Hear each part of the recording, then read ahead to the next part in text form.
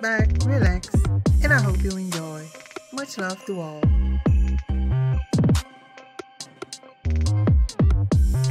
According to lore, the jack-o'-lantern is a soul who has been denied entry into both heaven and hell. It is doomed to wander about the earth clothed in a luminous garment or carrying a lighted wisp of straw. Different stories explain the origin of the jack-o'-lantern.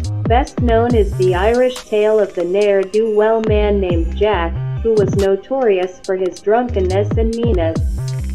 On one All Hallows Eve, Halloween, night, Jack got so drunk at the local pub that his soul began to slip out of his body. Immediately the devil appeared to claim his victim. Jack, desperate to avoid his fate, begged the devil to have one last drink before they departed. The devil agreed, but told Jack he would have to pay for the drinks, as the devil carried no money. Jack said he had only sixpence left. He suggested that the devil, who could assume any shape he wanted, take on the shape of sixpence so that Jack could pay for the drinks. Then the devil could change back. The devil thought this was a reasonable suggestion, and so changed himself into a sixpence piece. Jack snatched up the coin and stuffed it in his wallet, which had a cross-shaped catch. The devil could not get out, and began cursing. Jack told the devil he would release him if the devil promised to leave him alone for a year. The devil agreed. Jack intended to reform his ways for the next year, being nice to his wife and children, paying his bills instead of squandering his money at the pub, going to church and giving to the poor. But soon he had slipped back into his mean ways.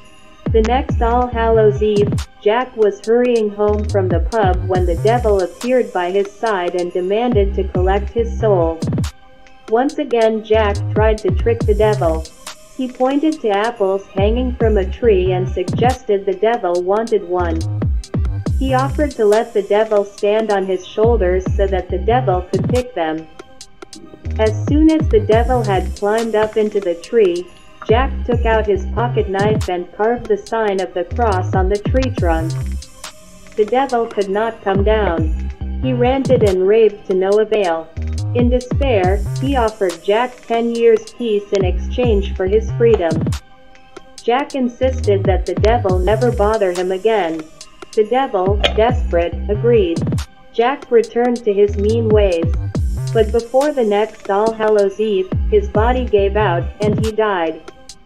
He tried to enter the gates of heaven, but was turned away because of his meanness in life. He then went to the gates of hell. The devil refused him, saying he had promised never to bother him.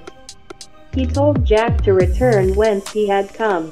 To help Jack find his way in the dark, the devil threw out a piece of coal from hell. Jack put it inside a turnip. It became a jack-o'-lantern and has been Jack's light on his eternal wanderings around the earth ever since. Different versions of this story were created in America. In the South in the 1800s, one popular version in black culture told of Grandpappy, who lost his way in the woods, saw a light and started to follow it.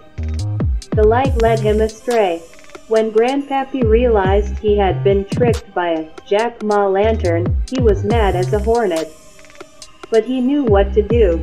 He turned his pockets inside out, drew a ring in his path, made a cross on the ground, and said, In the name of the Father and the Son and the Holy Spirit, drive these witches away with their evil jack-ma-lanterns.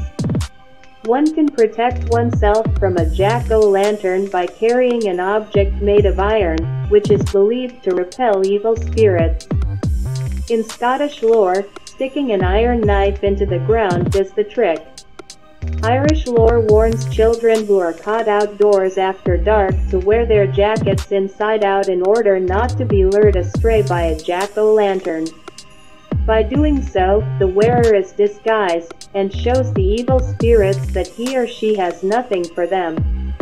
These remedies were transplanted to America, along with the procedure of flinging oneself to the ground, shutting the eyes, holding the breath and plugging the ears until the jack-o'-lantern passes. Jack-o'-lantern lights that are part of Halloween festivities descend from an old Irish custom of using carved-out turnips or beets with candles as lanterns. On Halloween, such lights represented the souls of the dead or goblins freed from the dead. The Irish who immigrated to America found pumpkins a suitable substitute for turnips and beets. In the United States, Pumpkin jack-o'-lanterns have been an essential part of Halloween celebrations since Victorian days. Thank you for watching. I hope to see you again soon. Till the next time, much love.